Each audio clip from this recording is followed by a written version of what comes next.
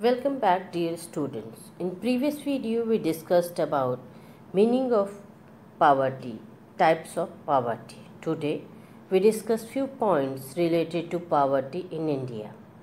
As you all know that a major part of India's population is under the poverty and this becomes one of the major issues for the economic planners of India. So let's discuss some factual data related to poverty in India. In that, first data is related to monthly consumption expenditure. On the basis of monthly expenditure of rupees 4080 for family in the rural areas and 5000 in the urban areas was declared as the poverty line by the planning commission 2011-12 those families whose income was less were deemed or declared as the below poverty line of BPL families. According to UNDP report, the estimated BPL population was 27 crores. It was 21.9% of the total population of India. As per the UNDP report, 21.92% population of India live below poverty line in 2011-12. The proportion of poverty in the rural and urban areas was 25.7% and 13.7%. Next data is related with the poorest and richest state in India. Chhattisgarh is the poorest state in India with 36.93% BPL or below poverty line population. A major portion of BPL population is living in Chhattisgarh state. On the other hand, Goa has the lowest BPL population of 5.09% means Goa is the richest state of India. In Gujarat, 16.63% population live below poverty line. India is one of the richest natural resources country which have not been fully utilized. As a result, a large number of people live in poverty. It is said that the poor live in rich India, rich in front of natural resources.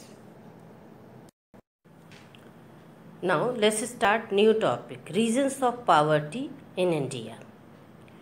First reason behind the poverty in India is irregular rainfall. As India is an agrarian country, farmers are dependent on rainfall for their agricultural activities. When there is less rainfall, they become victim of drought and debt burden when there is good rainfall they get better income. In agricultural season farmers get the employment. After seasonal nature of employment in agricultural field there is no alternative employment available in the rural areas. So this is the basic reason behind the poverty Next is or next reason of poverty in India is the illiterate people.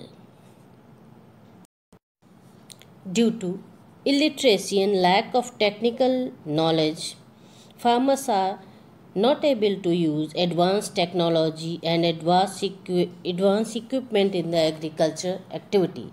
They having lack of skills and training for the high paying professions. Due to that, there is lack of per hectare productivity in India in comparison to the developed countries. Next reason behind poverty in India is sway of customs, traditions, religious beliefs. Blind religious beliefs force people to indulge in huge unproductive expenditure. They borrow money from the village money lenders at extraordinary rate of interest by mortgaging their land. As a, as a result, more than 90% villagers are caught in the debt trap.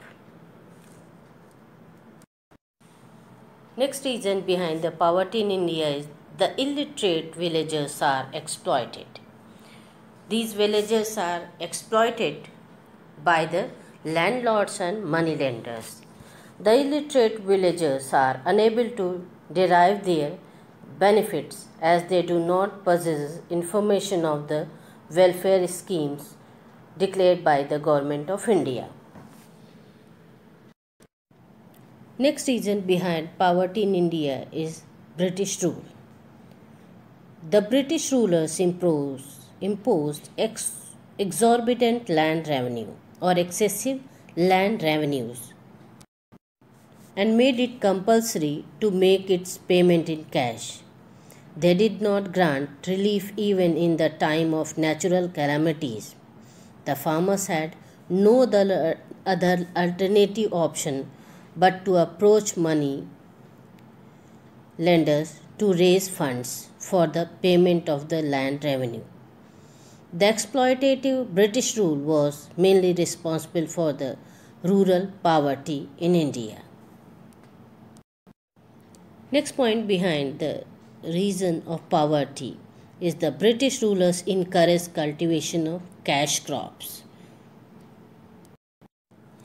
This reduced the land under cultivation of food grains like wheat and rye because these two grains are staple food of majority of Indian population. As a result, production of food grains declined. This triggered scarcity of food grains and increase in the prices of the essential food grains. Next reason of poverty in India is development of agriculture was neglected. During the era of first and second planning period, the development of agriculture was neglected.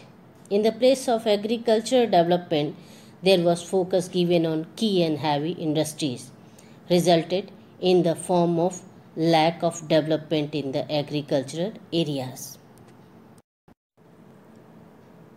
This type of policy increases the poverty in the rural areas of India. Next reason behind poverty is economic reform that were introduced in 1991. In 1991, reforms have declared by current government have adverse effect on agriculture, small scale and cottage industries.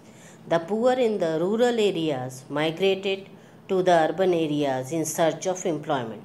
This resulted in the collapse of agriculture as an economic activity. Malnutrition and starvation are common among the poor.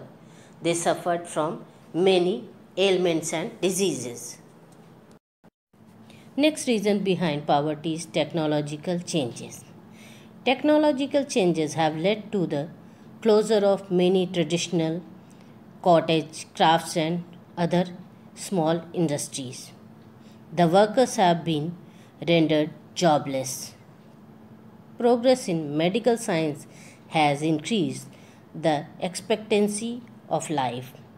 Population has increased day by day. Due to decline in the death rate, the supply of labor has increased in many folds. However, employment opportunities are insufficient for this type of rapid growing population. This led to unemployment and unemployment has further triggered poverty. The purchasing power of the people has declined. As a result, the standard of living deteriorated or quality of life gets deteriorated, this is the reflection on the state of poverty in India. So, these are the basic reasons behind the poverty in India. Dear students, in our next video, we will discuss some strategies for poverty eradication. Thank you.